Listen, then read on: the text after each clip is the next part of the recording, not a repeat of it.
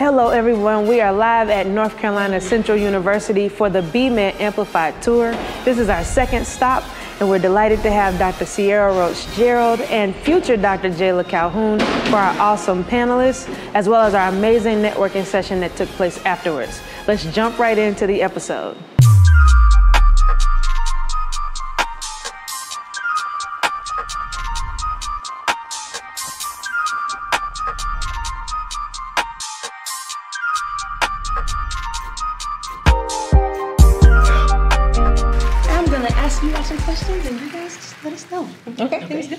Sounds. All right. So the first question I have for both of you all is, when did you become interested in pursuing a career in medicine? You want to go first? You go first. You can go first. Okay. Um, so mine is actually pretty interesting. I didn't. Um, I actually wanted to be WNBA basketball player, um, and then teach in the off season because um, I really love kids. And then I came to Central um, I went to school science and math for high school. Um, I had a lot of friends that came to Central, so that's what got me into Central. Um, and came here, and they had a pre med program, um, the early medical school selection program. And I pretty much had to decide between early education and chemistry. Um, I ended up choosing chemistry. I don't know how I had those as my two options. Um, and getting in that program really got me into the field of medicine. So I actually had no interest in medicine, just wanted to work with kids, and I still get to work with kids. Fantastic. Uh, for me, uh, when I started undergrad, I was actually a psych major. I thought I was going to get into psychology, so I wasn't really interested in being a physician um, per se. But then I started taking psychology classes, and I was like, I actually don't like this very much. So uh, I, I, transitioned pretty quickly to being a pre med. Um, and as a basketball student, I was in the training room quite a bit, and I would see, you know, the orthopedic uh, specialists in there, and they kind of just inspired me. I was like, I really kind of think what they're doing is cool, and I wanted to get into that, so that's why I decided to get into medicine. Awesome. So it sounds like for both of you, medicine wasn't necessarily the immediate path you thought you were going to take. That's right. So, what was that like making that transition? Because I know a lot of students sometimes they may pursue one path and realize this is not for me, but may be hesitant to change directions. What was that like for you, and what was kind of the tipping point to make you say it's okay to change? I guess I didn't actually change like majors or anything. Um, well, I went from chemistry to bio because to finish on time, I kind of had to switch majors. Um, but I think summer programs so um, are a big thing. So there's like the SMDP. There's a whole bunch of programs out there, and I really enlighten all of you guys to look up. I know we had Health Careers back then. I think they've changed the name of it now, um, as far as like the pre med. But um, I really enlighten everybody to like look into summer programs and get that exposure. Um, I know everybody's like, "Oh, it's summertime. I get my break," um, but honestly, like challenge yourself and just do like six weeks in a summer program. Um, get that experience because you'll get that you'll get that experience then that you won't get later in life. Um, and so me doing a summer program every summer kind of got me into seeing that i wanted to do medicine. Um, for me i actually was going to say similarly like a summer program. So after i finished uh, undergraduate undergraduate was a blur for me. Um, when i changed my major to biology um, also a blur. I don't even know if I really consciously made that decision. I was just like, I'm doing it. Um, I finished in three years. So um, I feel like when I was done, when I actually graduated, I still wasn't 100% sure and clear about the path I wanted to take. And I actually did the MED program at UNC. And for me, that was kind of my transformative experience where I was like, okay, no, this is something I'm qualified for, I'm capable of, and something that I would really enjoy doing. And can I piggyback on that? Of course. Um, so, and one thing that helps, um, I ended up doing the one at ECU, but that helps you get into those medical programs. So they get to see you that summer before, um, and so they get to see your work ethic, um, and sometimes you can get letter of recommendations there um, and stuff like that. But that networking that you do, because um, you actually work with the actual medical students, so they're usually the ones that are going to be your tutors or your teachers, and so getting that experience in those programs are is beyond beyond um, incredible. So I definitely um, piggyback what she's saying. Um, sorry to piggyback again, but um, yeah, no. In the MED program specifically, I know we had teachers who taught us in the MED program who were teachers when I was yep. my first year of medical school. So definitely the, the crossover is there. and also, like you were saying, it helps you in application or when you're applying because when I applied to UNC um, as an MED um, alumni, as an MED alumni, my name was already put into a different category um, as soon as I applied there. Awesome. So you all both made a great point about summer programs and the importance of doing those to not only get to know what you're interested in and making sure that your interest is something you already are familiar with and getting some extra exposure, but then really building connections at the university and really taking that opportunity to network with the individuals there. Um, what other things do you think are important for students besides summer programs as they're thinking about pursuing health professional school and medical school?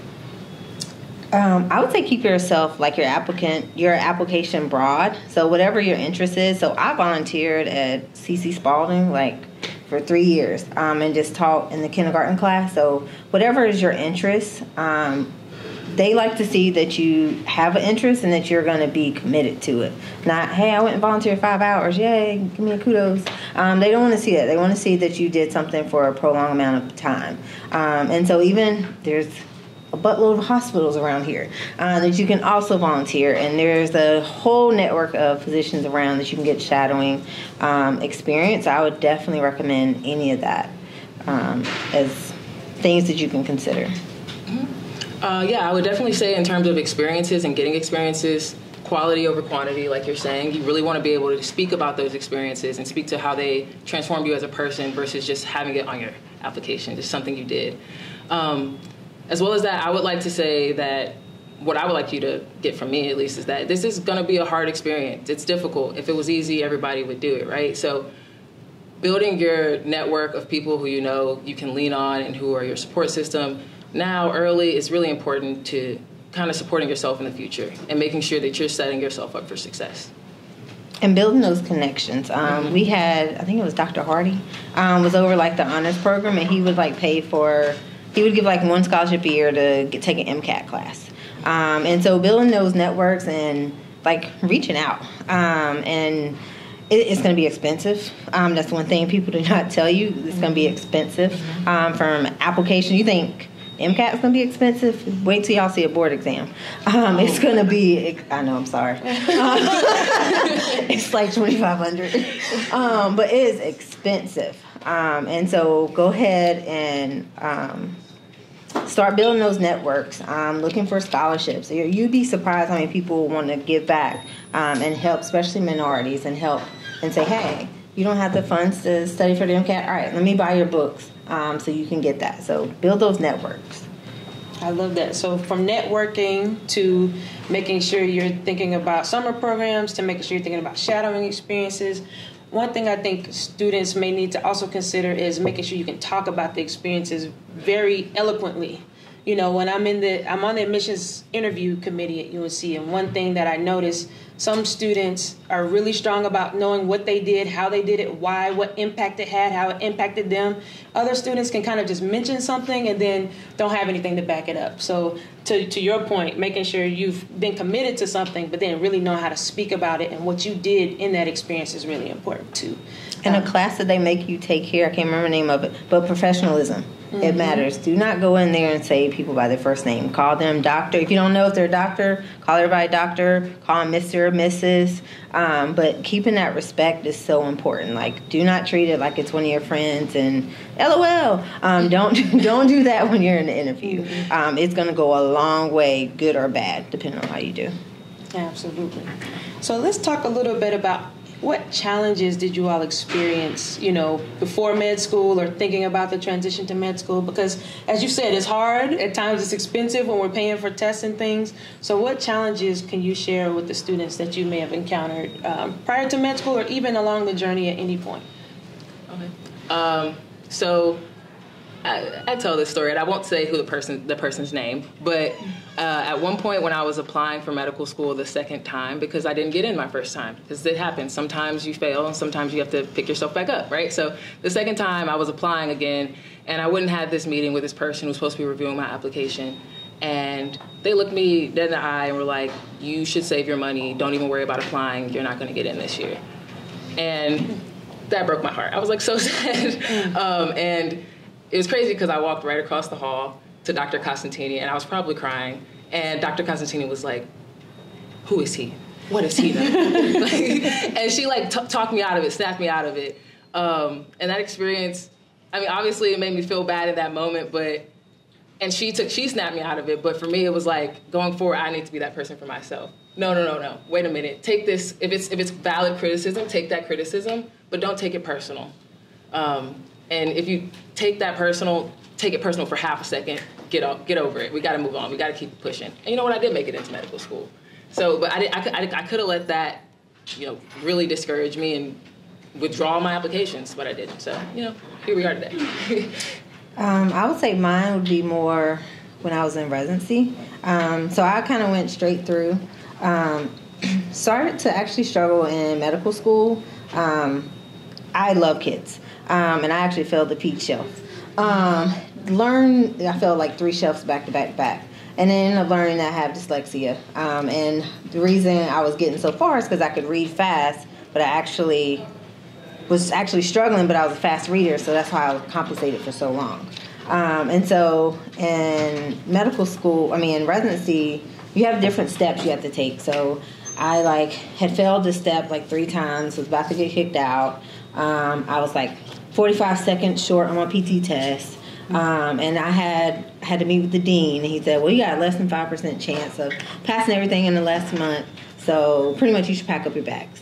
Um, but you have praying families, and I always believe in God first, um, anything can happen. Pass everything, um, but I still, I mean, you're going to struggle, um, but don't necessarily give up. Okay, um, and you'll have to figure out different ways to kind of conquer those things. So um, I have to take more time to study. Um, I'd like take a year to study for my boards now. Um, and so you'll figure out those things, but you're going to have challenges. Unfortunately, I mean, maybe there is somebody in medical school never failed a test, but there is probably nobody in medical school that's never failed a test. Like you're gonna, you're gonna have your ups and downs. You just can't give up um, and continue to push yourself. I love that. Go ahead. I was just gonna say I like to remind myself whenever I do fail, it's like you're not the only person. You're literally just. You, it's impossible for you to be the first person and only person to pass this. No one's gonna tell you in medical school that they failed, but surely someone in that room fell with you. So, I mean, like I said, take a moment to feel bad about it, but at the end of the day, you gotta. That's not useful to you. You gotta move on. You gotta keep pushing. You gotta do what's useful, and that's keep keep moving. Absolutely.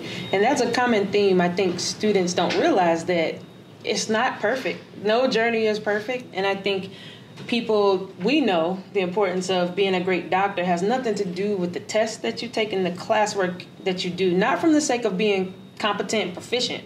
But what it takes to actually be a doctor and take care of patients is not the grade you get on a test. And so that's something I just want to keep um, say to you all as well because there will be times where you do great and there will be some times where you don't do as good as you would like to. But that doesn't mean you have to stop or feel like you are unable to accomplish your goals because we have amazing people sitting right here who are accomplishing those goals who've also uh, had ups and downs like myself as well. Um, and so I think it's important to know that and as you move through your journeys that it's okay to hit bumps in the road and keep going. Um, so I want to talk a bit about when you were here at Central what were some of the highlights for you? And if you had to get a student to come here to learn and be ready to go to med school, what would you say to that future student as Eagles? I don't know that I was ready for that question. My academic highlight. Or, I don't think I was ready for that question. uh, yeah. Um, so I feel like my um, the friends and the the mentors that you'll meet at Central, you won't meet anywhere else. Um, so I still I'm Facebook friends with my um, professors. Like I still talk to my professors. We have a group. We have a 18 person central group chat. Um, we still are connected. All of us want weren't necessarily science majors, but those bonds that you build um, in undergrad, you will keep those. Um, I haven't said my husband. I met him. Well, we knew of each other at Central. We just didn't date at Central. um, but um, so those like connections that you'll make, um, I don't I don't think you can take away from that. And the HBU experience is just like no other. Um, so I know you can say that now that you've been to a different school, but going to a different school, like I went to ECU for a medical school, it's going to be a totally different atmosphere. Um, and so just having that experience at some point in your life, I think is amazing. Um, having this like small classroom like this and not 500 people in your classroom. Um, it just means a lot. Hello, everyone. Are you enjoying the episode so far this week? Well, I'm excited to announce that this week's episode is sponsored by the BMed app. That's right, you heard it, the Black Med Connect app. This app will be for any Black or Brown pre medical students, medical students, residents, fellows, and attendings, even for institutions. We're in the process of developing our app and we wanted to share it with you now.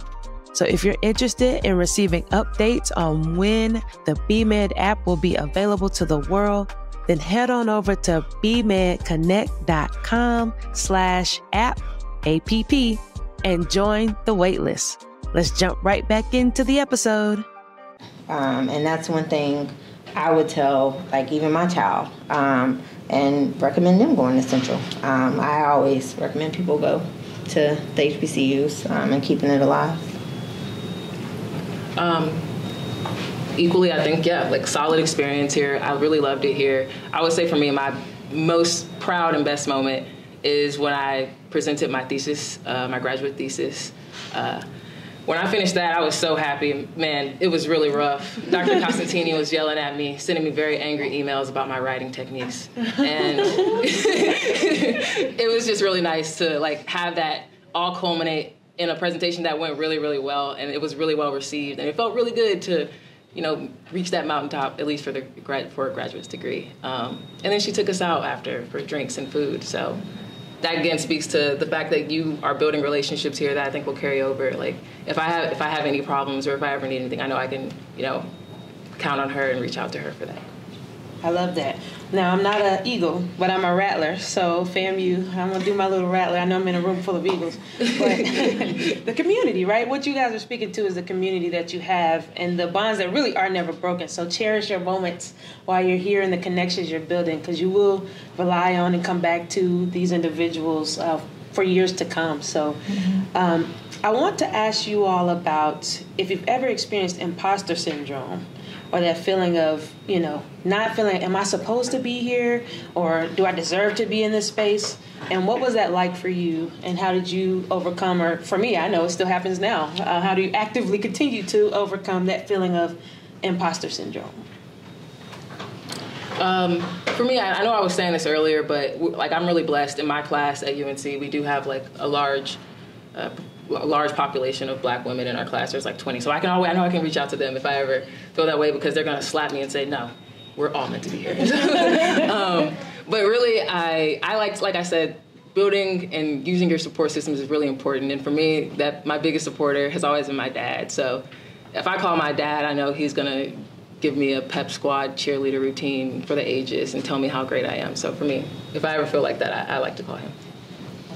Um, I, I agree with you. I, I don't think you can ever really get rid of that kind of syndrome. Mm-hmm. I would say I get it more now um, than I did at Central, at ECU. It just kind of depends on, you know, the atmosphere of that school or where you're at.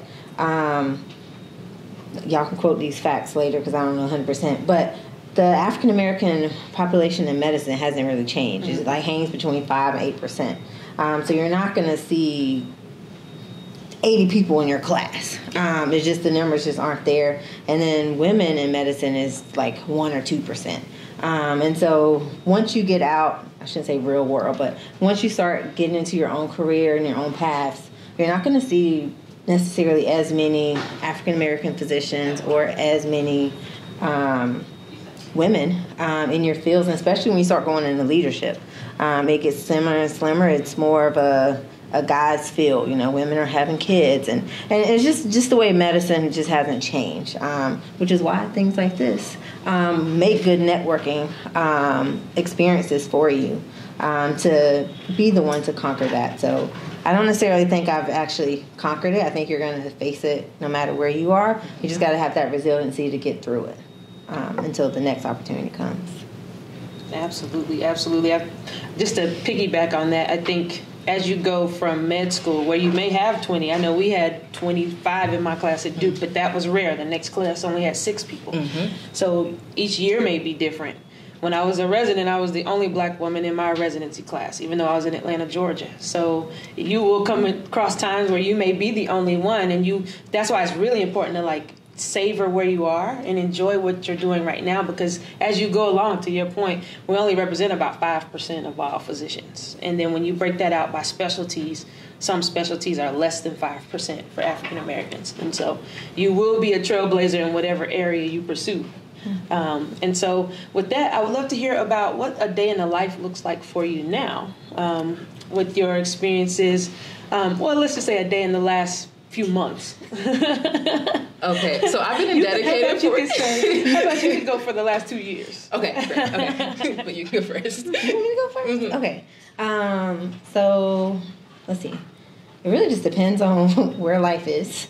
Um, but I would say um, right now, usually I'll just pretend I'm on round. So I still do like full scope where I round at the hospital. I'll see newborn babies, I'll see pediatric patients, and then I'll go to the clinic afterwards. Um, and I'll probably be at the hospital for two or three hours. Then I'll go to the clinic. Um, have patients in the morning, get a little lunch, um, and then I'll have a full afternoon, and then I'll go back to the hospital. Um, and round on whoever was born afterwards. Um, I am in like rural pediatrics, um, and so there's not many full scope pediatrics. As everybody's kind of shifting to like you either do hospital, you do clinic, um, but not necessarily all of it anymore. Um, it's funny that you say that because in the next year I plan to transition to just hospital work um, because I'm tired of doing both. Uh, so, um, but that's how kind of how my day usually is. But I also do um, a lot of teaching. I teach like NRP. I work with the residents. I actually have to prepare a lecture for them for Thursday. Um, it really just depends on the day with me. Um, so I also do a little locums too. So like this weekend, I went to like another hospital and cover for them.